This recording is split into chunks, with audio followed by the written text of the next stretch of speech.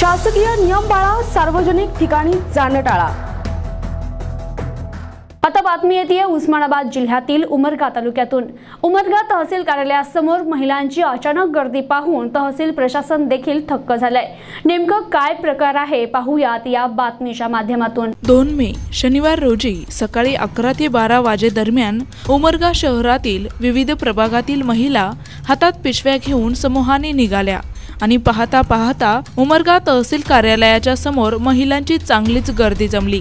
तर सर्व गर्दी तहसील कार्यालयात किराणा किट भेटत असल्याच्या अफवांमुळे जमली होती असं स्पष्ट दिसून येत होतं. तहसील प्रशासनाचे सर्व अधिकारी आणि कर्मचारी ही गर्दी पाहून थक्क झाले होते. तर काही कर्मचारी त्या महिलांना समजावून सांगत होते की केवळ नावाची यादी तहसील कार्यालयात जमा करा. इथे गर्दी करू नका. किट लवकरच घरपोच करू.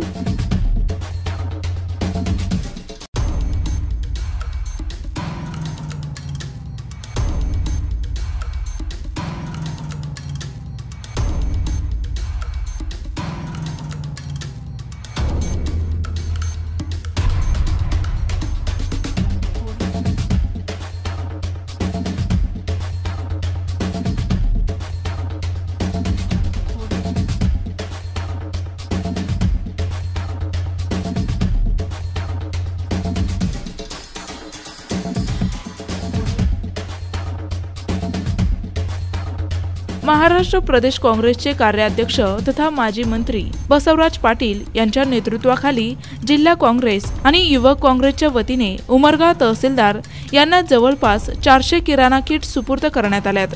जेणेकरून लॉकडाऊनमुळे ज्या कुटुंबांचं अक्षरशः चुली बंद पडल्यात त्या गरजूंना याचा फायदा होईल.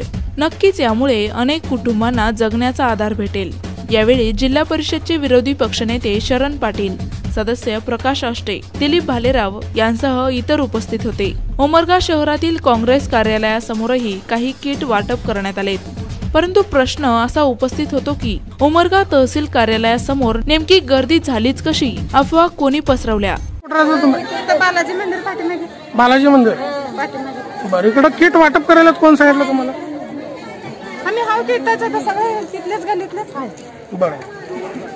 नाही, नाही इथं तुम्हाला कोणी माहिती दिलं होतं का? म्हणजे एवढी अचानक गर्दी पडली इथं. असंच असंच एक जण एक जण गेल्यावर हो. आज पहिल्यांदा आलो आम्ही. का बरं?